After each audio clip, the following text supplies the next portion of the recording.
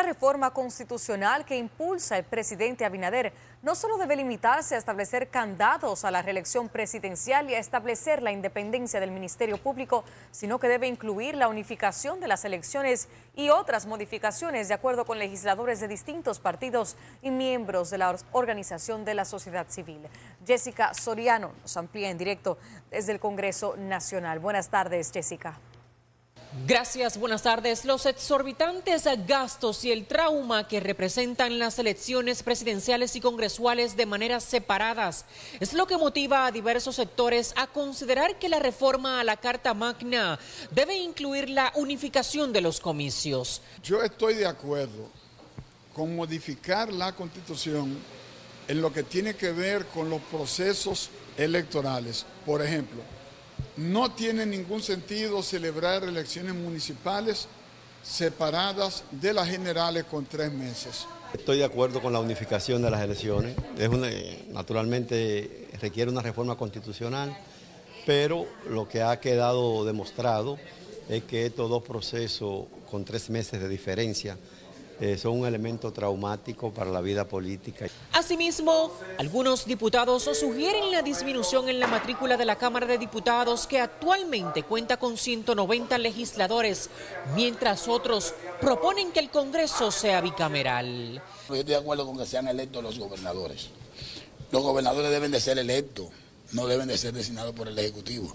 Debe de ser una persona que conozca de las problemáticas estructurales de la provincia. El vicepresidente de Finjus, Tulio Castaños, aboga para que, entre otras cosas, en la reforma constitucional se revise el tema de la elección de los jueces del Consejo Nacional de la Magistratura. Que eso está a cargo del Consejo Nacional de la Magistratura, que desde el punto de vista técnico no tiene la capacidad para estar evaluando jueces como es el tema de eh, los órganos de gobierno eh, a lo interno del Poder Judicial, me, me, refiero al Consejo del Poder Judicial. En el caso del diputado del Frente Amplio, Juan Dionisio Restituyo, se opone a la unificación de las elecciones y por el contrario, plantea que las presidenciales, congresuales y municipales se celebren por separado. Las elecciones presidenciales deberían ser sola del presidente y no la de los diputados y la de los senadores y estoy sí de acuerdo que se haya una sola Cámara. Actualmente para la reforma a la Constitución en el tema de la reelección presidencial se requiere el voto de las dos terceras partes de los asambleístas presentes. Esta es la información que tengo por el momento. Yo retorno con ustedes. Este lunes en el informe, el costo de repartir funditas aumentó más de cinco veces en un año a otro cuánto le costó al Estado en 2022, 2023 y en los primeros dos meses de este año.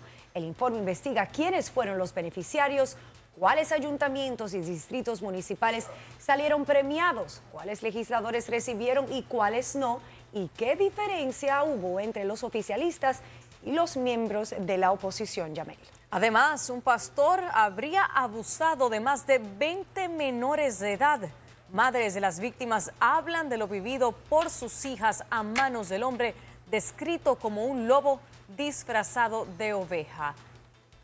Y destruidas más de 60 tareas de bosques en la comunidad Las Canas de Villa Vázquez. ¿Cómo ocurrió? ¿Qué denuncias se hicieron? Esto y mucho más este lunes en el informe con Alicia Ortega a las 9 de la noche.